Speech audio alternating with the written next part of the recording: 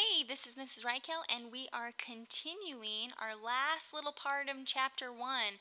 Um, so, the last couple things we have to go through are um, body sections and then um, regions of the body. Okay, so we have a couple more things left. Um, right now, you can see there are three body planes. Part A is known as a median or a mid sagittal plane.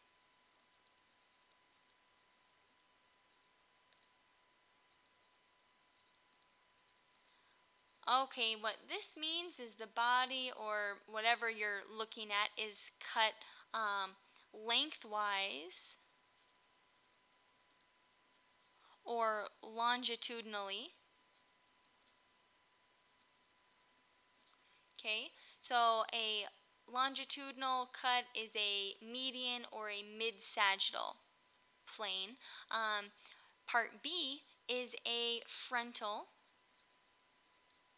Sometimes this type of a plane is actually called a coronal.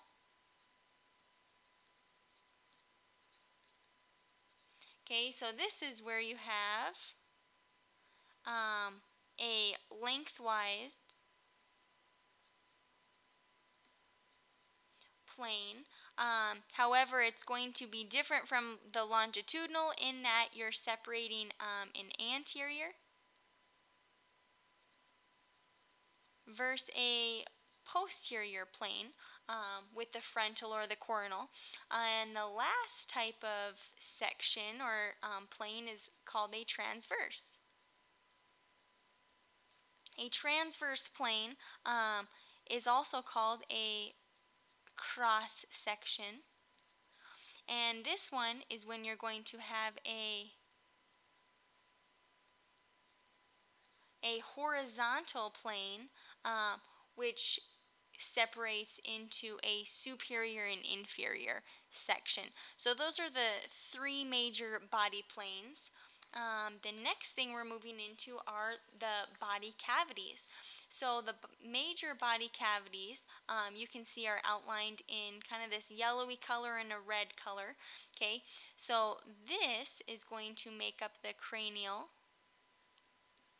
cavity. Down here, we're going to have the spinal cavity.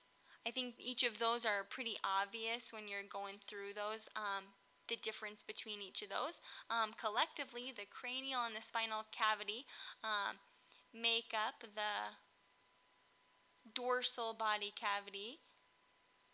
Do you remember what dorsal means? Hopefully you remember it means towards the back. Uh, then everything in red is going to make up the, what is it probably going to be? If dorsal is back, what means front or the belly side? You should have the ventral body cavity. Okay. Um, the ventral body cavity is divided into a couple of specific cavities. So here we have the thoracic cavity. The thoracic cavity is, if we had a different section, if we had a, um, a better view of it, the thoracic cavity can actually be divided um, in a mediastinum. Let me write that down. Okay, mediastinum is going to separate the left and right lungs within the thoracic cavity. The thoracic cavity is separated from the abdominal cavity by this right here, which is the diaphragm.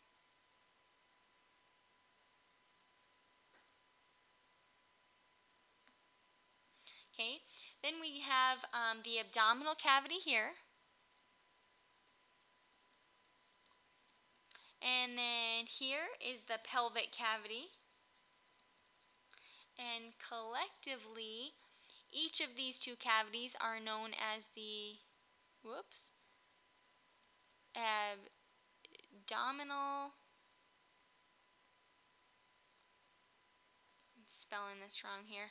Let me start over.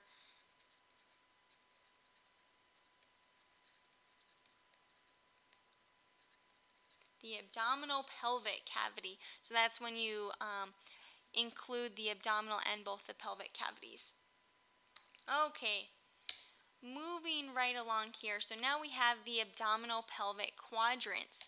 Okay, so the different quadrants, um, if we divide them into the four quadrants, okay, it's separated here. This is going to be the right upper quadrant. Okay, I know it's on the left side, but it's on this guy, whoever this is, it's on their right side. Okay, this then is going to be the left upper quadrant. Okay, so then this is going to be the right lower quadrant and the left lower quadrant. Okay, so hopefully that makes sense.